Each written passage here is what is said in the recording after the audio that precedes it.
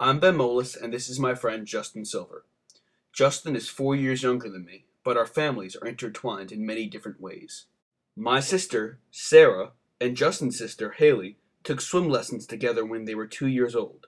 Our families go apple picking every fall and to a water park every summer. Justin was born with the genetic condition Fragile X syndrome. For those here today, you know the intricacies of Fragile X. Fragile X is on the spectrum of autism and exhibits various physical and mental symptoms. Justin is prone to seizures, three to four on average every month, with some so severe that he has to be taken to the hospital.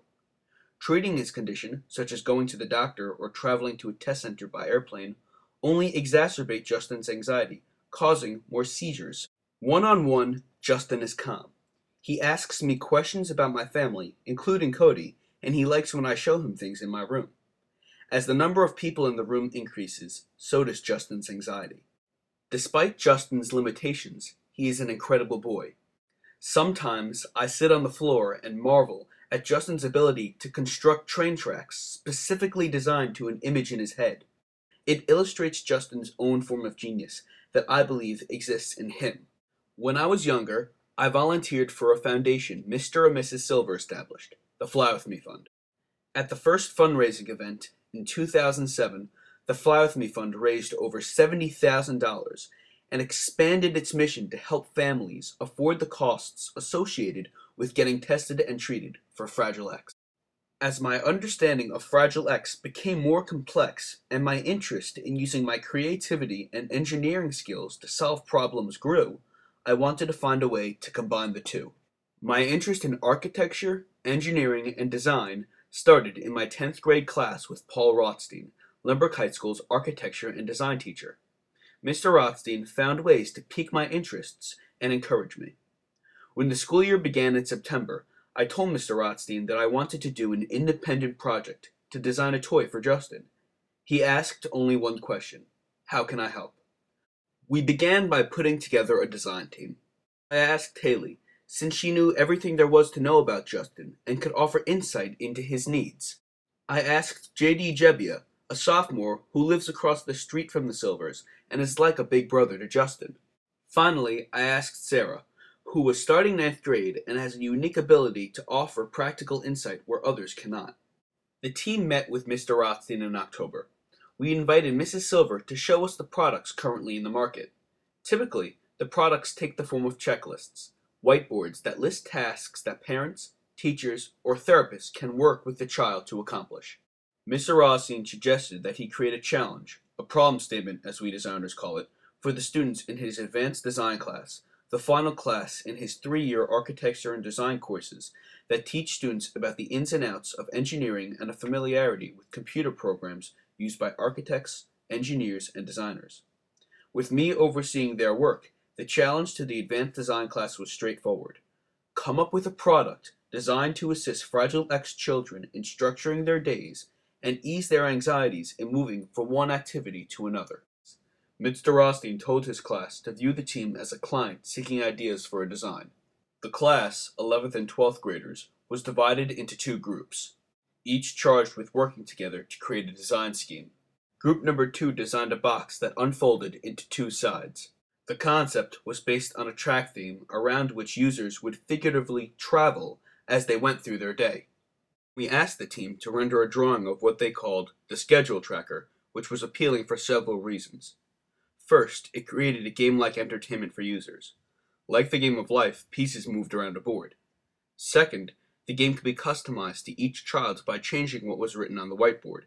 Finally, because the schedule tracker was different from what is in the market, it wouldn't be associated with school. The game we designed is called the Magic Arrows. One side of the game is a circle with eight peg holes around the circumference. The center of the circle houses overlays divided into eight pie segments. The basic overlay focuses on the typical school day. Get up and get dressed, eat breakfast, go to school, come home and do homework, afternoon activity, eat dinner, after dinner activity, and bathe and go to bed. In addition, eight differently colored pegs give the user the option to fill in each peg hole, or to identify with a specific color that moves around the circle as each task is completed. The overlays are secured on the circle in the game and can be replaced with different overlays that focus on a specific segment of a day or a completely different task also divided into eight segments. For example, our prototype includes overlays for bathing and for going to the doctor. To assist users in transitioning from one activity to another without causing excessive anxiety, the second side of the game has two circles of equal size with arrows in the middle. The two circles are labeled activity and reward and are made of whiteboard. If a particular task involves a choice, say, what is your afternoon activity, the supervisor can write choices on the whiteboard and let the user spin the magic arrow to choose the activity, such as watching TV or playing with a toy, or the reward, such as eating pretzels or calling grandma and grandpa for finishing that task. Accordingly, the magic arrows target slower and higher functioning users. One side focuses on users with basic needs and goals, empowering users with a visual sense of achievement as they track their day or activity in a fun or game like manner. The second side of the magic arrows helps a user make choices or transition from one task to another. Supervisors can limit or expand the number of choices on the whiteboard depending on how many choices the user can handle.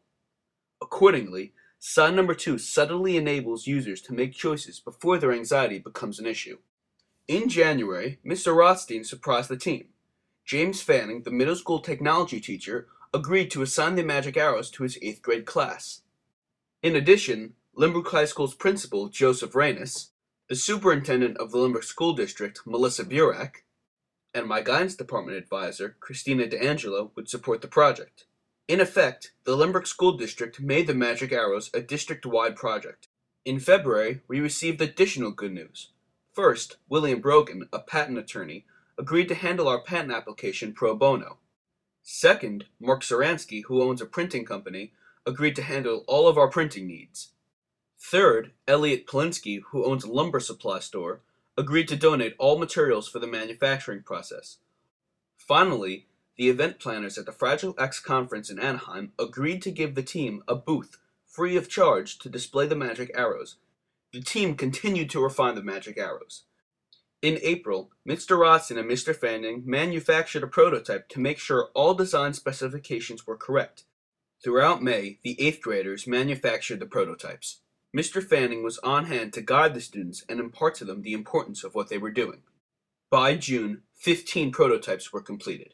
My cousin Alex Levy, a professional graphic art designer, created a special logo using a rainbow, which Justin loves to draw and has become Justin's hallmark. Mr. Zoransky finished the overlays. Mr. Brogan continued to work on the patent application, which will be registered under the name of the Fly With Me Fund, with all proceeds going to the fund's mission to help those in need. I'm Ben Moelis. I'm 17 years old and entering my senior year at Lynbrook High School in New York. I play varsity football in the fall and varsity lacrosse in the spring. I'm the vice president of Lynbrook's National Honor Society, a member of the Superintendent's Committee, and a National Merit semifinalist. I realize how hard I've had to work to attain my ambitions, but I like my life. When I first told my dad what I wanted to do for Justin, he told me a story. A man of 80 dies and goes to heaven.